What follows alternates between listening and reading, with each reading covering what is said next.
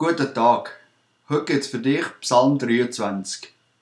Ein Psalm Davids. Der Herr ist mein Hirte, mir wird nichts mangeln.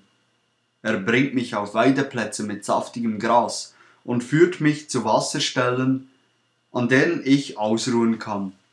Er stärkt und erfrischt meine Seele. Er führt mich auf rechten Wegen und verbürgt sich dafür mit seinem Namen. Selbst wenn ich durch ein finsteres Tal gehen muss, wo Todesschatten mich umgeben, fürchte ich mich nicht vor dem Unglück, denn du, Herr, bist bei mir. Dein Stock und dein Hirtenstab geben mir Trost. Du lädst mich ein und deckst mir den Tisch selbst vor den Augen meiner Feinde. Du salbst mein Haupt mit Öl, um mich zu ehren, und füllst meinen Becher bis zum Überfließen. Nur Güte und Gnade werden mich umgeben alle Tage meines Lebens, und ich werde wohnen im Hause des Herrn für immer.